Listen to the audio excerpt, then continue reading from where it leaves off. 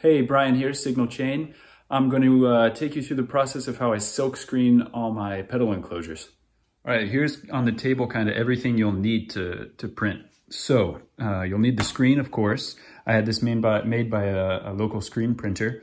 And um, I mean, you can buy kits to do it yourself, but it'll just come out way better if you have it made. This is a 305 count. Um, I think that's a 120T in metric.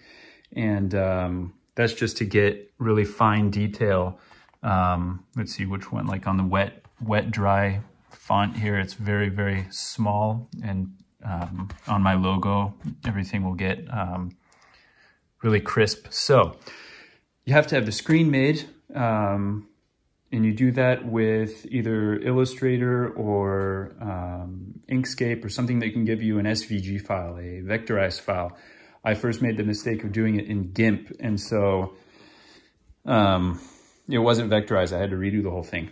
Anyway, on the on the the the jig here, I made um, a little space for each pedal.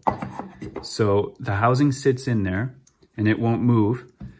And on here, I've marked out exactly where, so that's the UVM, where the, um, oops, there it is. There it is. You line up the cross there and the line here, and everything is lined up. So, um, you got to get these hinges as well so that you can lift it up and move it. Um, the jig for everything to sit on. And then I've got here, um, where is it, the ink. I chose a solvent-based ink because um, it's really durable. It, it like melts into the polyurethane of the of the um, enclosure and it doesn't require a top coat after. Here's the white and then you'll need a dilutant. Mine has to be diluted down 5 to 10%. So I put some, I put a little bit of ink in these, um, you know, jam jars and then dilute it down by weight, mix it up, and then it's ready to go. And this, this was the smallest one they sold. So I've probably got ink for the next decade. And uh, so yeah, dilutant, that'll dilute it down and clean it up, and then some mineral spirits as well to clean it up.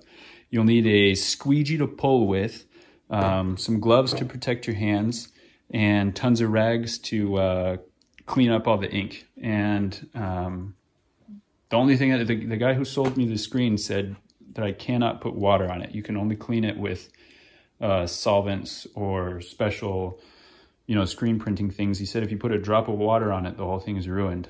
And I couldn't tell you why. If you can tell me in the comments, I'd be glad to learn. Um, so yeah, I'll uh, change camera angles now, get up over the screen and show you how I pull some ink. Alrighty, so I've got the Sirius, that's the one I'm gonna do now. I've got it lined up in the axis here. Um, and the next step is to Make sure your hands are clean before you handle the housings. Um, one thing I forgot to mention earlier is when you when you're making these, you have to uh, when you make your jigs and everything, you got to make sure you're off contact, and that's the space between um, what you're printing and the actual screen. So you got to figure out your off contact. Um, you got to figure out how fast you want to pull, how um, how fast you want to pull. Sorry, I'm trying to do this at the same time. And um, how fast you want it, your ink to dry. Now mine dries um, just at an ambient temperature. Here we go, I'll pull here, a little bit of ink, nice even pressure, and let's see how that went. Here's the housing. So that one's not too bad a little bit thick. I'm gonna have to redo that one. Make sure it's clean. Put a new one in here. And there we go, that one's better.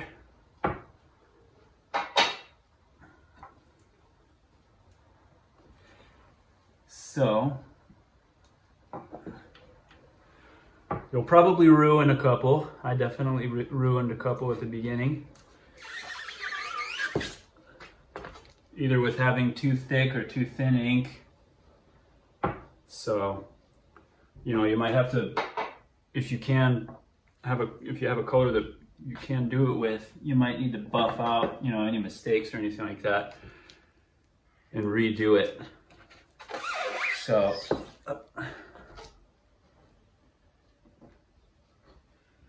these ones are turning out pretty good. There's a little bit of overflow on one of them, but that'll just buff out. And last one. I only have five of those. There we go, not too bad. Now, the cleanup process is kind of a pain. I like to get all the ink as I can back into the jar.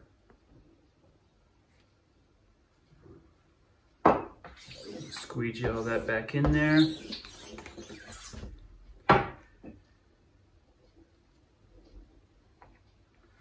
That's probably good. And then, um, let's see, I'll get a rag here and I'll use the dilutant here to clean everything. Get that, close it up. This is why, um, I mean, for me, I chose to put all the models on the same screen and it makes it um, a little time consuming because I have to clean it in between each model. I mean, if I had 50 of each, it wouldn't be, if I had 50 to do of each, it wouldn't be a problem. But since this is, you know, the beginning of my operation and uh, kind of low, you know, small scale, I'm having to do only five five to 10 model each at a time. So I have to clean it up and then wait for everything to evaporate off because I also made the mistake of not letting the dilutant um, come off all the way and then, or wipe it off all the way. And then if you put the screen back down while it's got dilutant on it on top of a pedal, it melts the the polyurethane since it's made of since it's solvent based it just melts right through it and this is the longest process here. So I'll probably cut the video a couple times or speed it up maybe.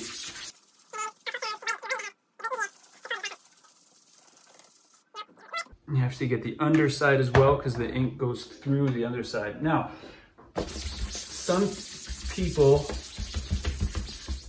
See, I, I pulled the Sirius here and some people will tape over other models if they have those, you know, I could have put tape down all here to make cleanup easier. The problem is that um, the tape leaves behind this sticky residue and so it makes cleanup even harder. Also, I forgot to mention, you got you got to make sure you have clean fingers when you grab the housings to put them in the jig because on my first time doing this, um, see my fingers are all covered in ink. I bet a, a professional person would probably do it way cleaner than I am right now. But on these first runs when I was doing it, I would grab the housing and then I realized after they had cured that there were little fingerprints on either side. So I had to buff those out too. It was kind of a pain in the ass. And you really gotta make sure you get all of the ink out because if it cures in the screen, those holes get gunked up and you won't ever be able to print through it again. All right, same thing as last time, except with white.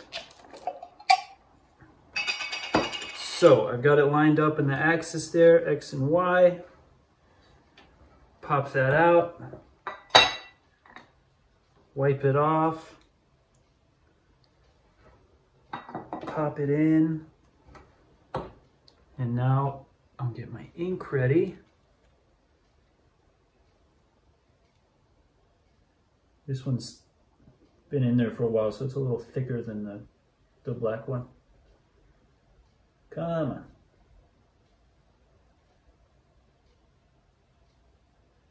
There we go. I need to find a, a um, oops, a squeegee that's thinner, like the thickness of a pedal, probably that much, because I have to lubricate the entire thing or else it pulls on the screen. There we go. So push down and pull. And it should be, the white pops like that, I like that. It's the Odyssey fuzz. And I got five of them to do. Oops. Wipe that off. Huh, have to buff that up. There's a little spot. There we go. Position it and pull.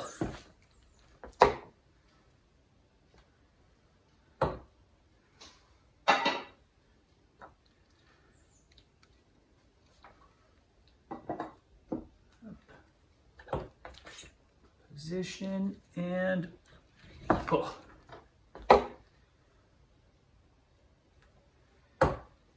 There we go. And now there's tons of variables of, you know, squeegee angle and pressure and all that stuff. And um, again, it's all for me just been trial and error. I try and get it at a 45 degree, degree angle, push down fairly hard, and then I try not to go too fast with the pull so that the, uh, one might need a little buffing. Try not to go too fast with the pull so that it can evenly distribute throughout the whole thing. Last one. Pull. There we go. Oops, I forgot to wipe that one off and it's all dusty. Nothing got in the, nothing got in the ink, so we're fine. And clean up again. So I'll speed through this again because the cleanup process is rather boring. You got to make sure you get the squeegee really clean because if ink dries onto the uh, squeegee, you'll have a little, you know, hump in it or whatever. And when you pull, it won't pull evenly. You got to get it real, real clean. And the screen too. This, everything's important to clean the screen. If you don't clean that, it plugs up the mesh and then, you know, you've blocked off a little section of the print. So getting everything dry is, er, dry, cleaned is very important.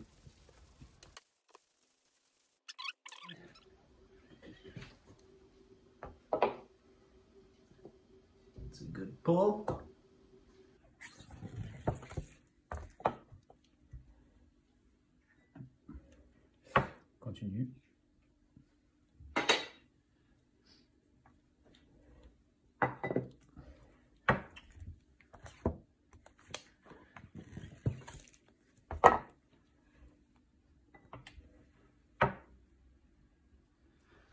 Um, so yeah, I guess that's uh, all I can share. Um, I'll just stop talking now. I'm going on.